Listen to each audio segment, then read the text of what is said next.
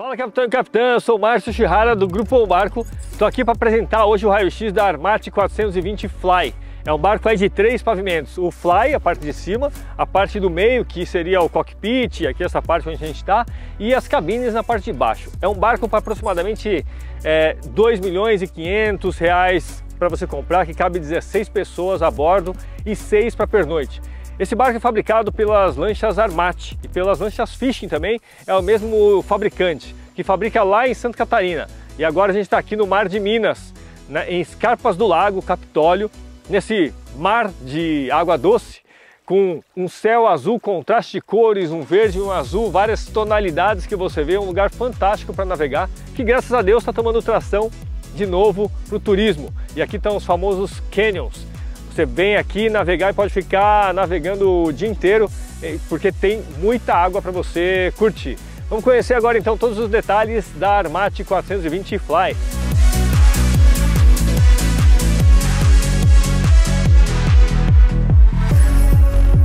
E aí a lancha sempre tem um DNA. A Armate, quando você vê ela, assim como outras lanchas do mercado, você sabe que é uma Armate, eu tenho gravado desde o da 30 pés até agora 420 e outros barcos também. Esse barco ele vai se destacar pelo design esportivo, é sempre esse design bem de carro esportivo, assim, por isso que é uma Sport Fly. Ela tem essa, esse Fly, que é um barco dos barcos mais clássicos, mas mantém a característica esportiva dela. E o que, que marca muito o Armate? Essa proa bem grande, com esse, essa, esse vidro lateral dividido no meio, sempre tem nas lanchas maiores deles, e a saída de ar. Essa saída de ar também marca bastante e fortalece essa esportividade do casco. Ela é completa por esse guarda-mancebo que vem acompanhando as linhas do casco também, lança para frente e essas janelas embaixo quadradas e algumas redondas. O que marca bastante também nesse barco são as passagens laterais com 20 centímetros de cada lado. Nesse caso, acabado com madeira teca, que ficou bem bonito. Daqui a gente consegue ver que o barco ele, ele é bem largo, né? tem 3,80 de boca, que a gente chama de largura, e uma proa bem grande também, como eu falei, essa parte toda, ela é bem grande, bem lançada. Você tem antiderrapantes na parte da frente e na parte de trás ali, um banco bem grande aqui também para a gente brincar nessa área e confraternizar, eu sempre falo isso. A caixa de âncora aqui na frente com um guincho elétrico e um grande solário, olha só, olha o tamanho né, desses dois solários, também com o encosto rebatível ó, dos dois lados, eu tenho quatro porta-copos, dois de cada lado aqui, feito em acrílico. O guarda-mancebo fica com 61 centímetros de altura, com esse design um pouco, algumas dobras voltadas para frente e aí fortalece né, essa esportividade que eu venho falando da lancha Armate. Então a gente tem esse, essa escada que ela se forma a ponto que você vai descendo a plataforma submergível e você comprar um barco desse já sem essa plataforma submergível é praticamente comprar uma casa sem piscina se você tem a oportunidade de colocar. Olha o que ela proporciona, né? Pés na água, cadeira aqui, pode colocar esse guarda-sol que a gente tem, essa tenda, uma escada de popa para você subir no barco, todo em acabamento em madeira, também em madeira teca aqui. Essa plataforma tem 1,40 de profundidade, por 3,80 quase de largura, não é 3,80 porque tem as outras partes, mas ela é bem comprida também. E a gente tem ainda um espaço gourmet aqui atrás, olha aí, churrasqueira, posso subir, manusear aqui também tranquilo, ó, 30 centímetros nessa parte, churrasqueira, pia e geleira. E um grande paiol aqui embaixo para eu colocar todos os meus objetos Inclusive essa cadeira estava aqui dentro. A parte de trás também ficam as chaves gerais do barco e a tomada de cais. Para ter uma vida dessa é fácil. Na verdade é só você seguir o nosso canal aí no YouTube, se inscreve que a gente tem várias informações sobre todos os tipos de lancha. E aí depois quando você entra nessa parte que liga, na polpa mesmo, com o cockpit fechado, eu tenho uma área de integração muito útil para uma refeição, olha que gostoso, né? Então tenho uma mesa com um banco em U, também confortável. Paióis aqui embaixo, mesmo paiol que é aqui embaixo, ele liga aqui embaixo desse estofado. Aí as pessoas podem ficar confraternizando, é, olhando o pessoal que está aqui atrás, fazendo o churrasco e servindo essa parte também, com uma grande área de contemplação da natureza. Esse, esse, barco ele tem bastante área é, que te liga com a natureza, né? E você consegue ver isso tudo andando pelo barco. Essa área também fica a escada que vai para o fly com pega-mão. A casa de máquinas aqui embaixo, que eu vou mostrar, e os dois acessos para a proa. A gente tem então dois acessos que eu falei, como eu falei, confortáveis com 20 centímetros e o pega-mão. Esse guarda-mancebo, logo eu tenho um pega-mão em cima para me ajudar nesse transporte. E aí eu vou segurando e vou para frente. E aí eu entro no cockpit mais abrigado. No acesso eu tenho uma cristaleira e a lixeira do outro lado. Um armário, uma geladeira e um gaveteiro, micro-ondas, mais uma pia e o forno por indução. Esse espaço gourmet ele é integrado com a popa e com a parte de dentro. Ou seja, né, se eu tiver um dia muito chovendo, frio, ou calor demais, eu fecho essa porta e tenho uma área toda reservada para refeições dentro do barco. Tenho essa iluminação, essas janelas aqui dentro do barco, paióis aqui embaixo e um degrau para subir para a área de refeição. Então, um dia, por exemplo, é isso, né? Se eu fecho, eu tenho uma área totalmente abrigada é, e bem confortável para as minhas refeições. Primeiro posto de comando embaixo, um banco, eu vou pilotar lá de cima, vem com esse encosto. Esse posto ele é bem completo. Com os flies, a lanterna lá na frente fica ligada aqui dentro, não lá em cima. Um rádio, Remarine, um GPS, todas as botoeiras de comando mais rápido, o relógio do motor e o acelerador por aqui. Eu tenho também um joystick nesse barco aqui embaixo. E aí eu vou descendo, ó. A sala de baixo, ela é quase que integrada com a sala de cima, mas eu tenho um outro ambiente. Eu tenho uma televisão nessa parte de cima e posso ter uma televisão nessa parte de baixo também. É uma sala mais íntima, mais reservada. Na descida, eu posso me segurar nesses, nessa, nessa própria borda, que ela é estofada e com outra cor. Esse acabamento, ó, ficou uma moldura para descer para a área das cabines. E uma escada e um degrau, são três, três degraus em madeira teca. O barco ele tem vários degraus em madeira teca, é, bem bonitos. A iluminação lá de cima do vidro do para-brisa principal, a gente aproveita para essa área ainda. Esse banco em U me dá então mais uma área de refeição com alguns paióis embaixo e armários em cima, claro. Um lugar para colocar mais alguma, alguns móveis, madeira teca. Mais uma vez, uma área mais íntima que eu tenho acesso aos dois quartos e ao banheiro. Algumas das partes, ó, elas têm um estofado em acabamento e outras não. Tem duas janelas aqui, duas vigias para entrar iluminação e ventilação. Então o banheiro ele pode ser convertido só para a área da sala, quanto para só para esse quarto que é a, a meia.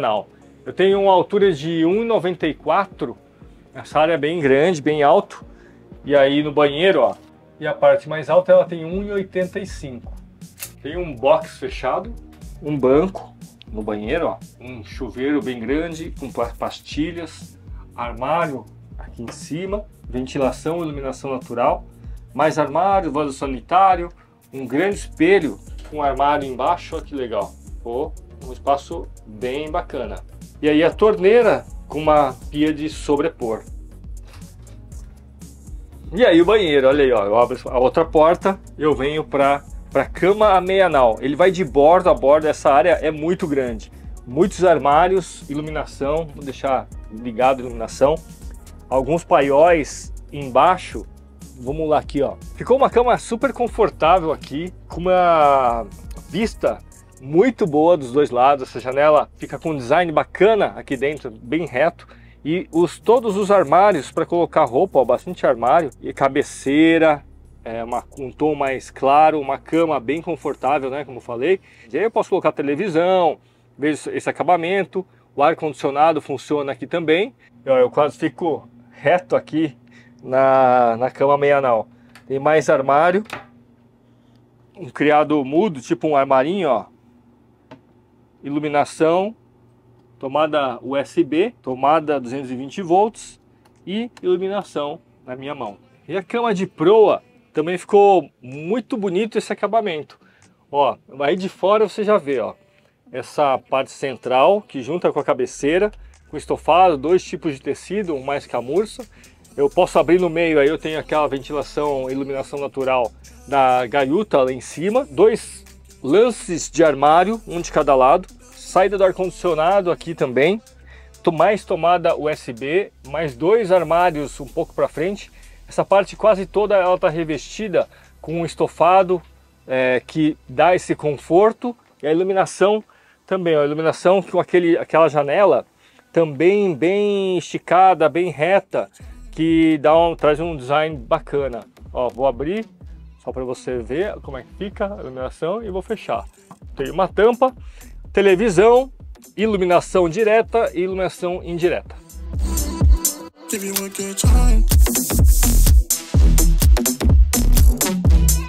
Para casa de máquinas, eu levanto essa tampa bem grande e eu tenho acesso aos equipamentos. E mais para trás eu posso levantar a outra parte, eu tenho acesso aos motores. Aqui são dois motores de 350 HP a diesel e pode ser também a gasolina no caso. E eu tenho espaço para todos os equipamentos, ó.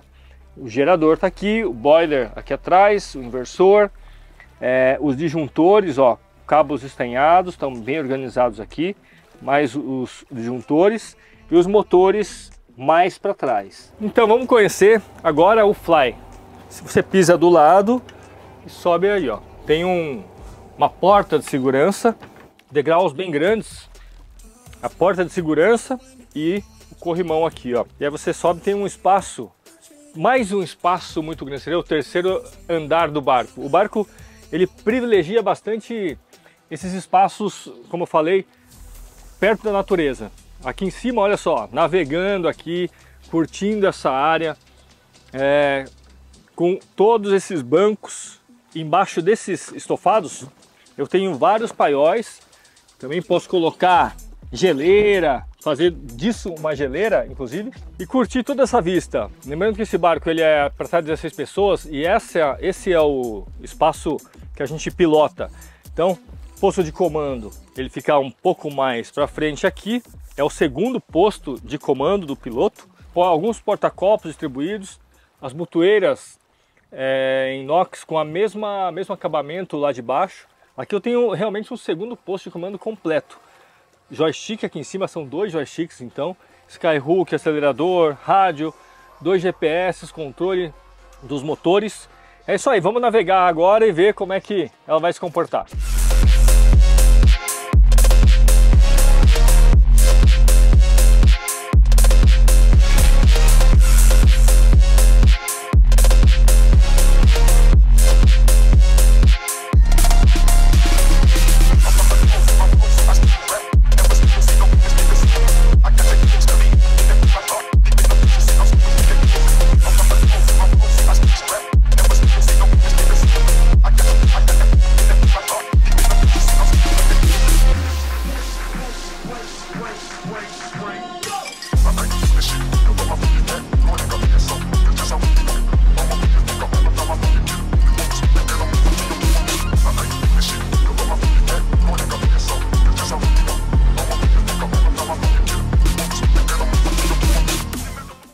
Gostou da 420 Sportfly da Armate Capitão Capitã? Pode deixar o teu comentário aí para a gente responder caso tenha dúvidas. E vamos encerrar com essa maravilhosa vista aqui do mar de Minas, Carpas do Lago, Capitólio. É muito bonito esse lugar para a gente passear e navegar. O barco, a gente não conseguiu colocar ele, lógico, em condições de mar, mas falando de navegação aqui pela represa, fiz algumas curvas com o barco né, forçando bastante e ela se mostrou muito bem. Esse casco é um casco já bem conhecido no mercado, é, por ele ter uma boa navegação. Então ele corta bem as ondas e faz curvas no modo esportivo que é da Armate mesmo, né? É um barco com bastante espaço para 16 pessoas, de aproximadamente 2 milhões e meio de reais, chega até 3, passa um pouquinho, pode passar também com muitos acessórios. E você tem aí espaço gourmet, pernoite para seis pessoas e esse fly que é o principal, que dá nome inclusive ao barco, né? o Fly Bridge. É isso aí, capitão e capitã, espero que você tenha gostado. Deixe os seus comentários, compartilha, se inscreva esse vídeo também, se inscreva no nosso canal do YouTube e compartilha caso você queira que algum amigo teu queira esse barco também. Te vejo nas águas de todo o Brasil, capitão e capitã.